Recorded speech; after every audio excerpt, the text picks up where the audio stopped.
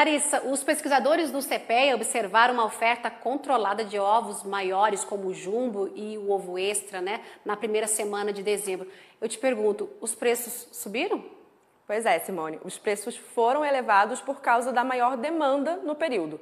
O avicultor pode considerar o mercado mais vantajoso, mas a preocupação sobre o atual cenário ainda existe. O motivo seria o baixo poder de compra do consumidor, que se mantém inferior ao registrado no ano passado.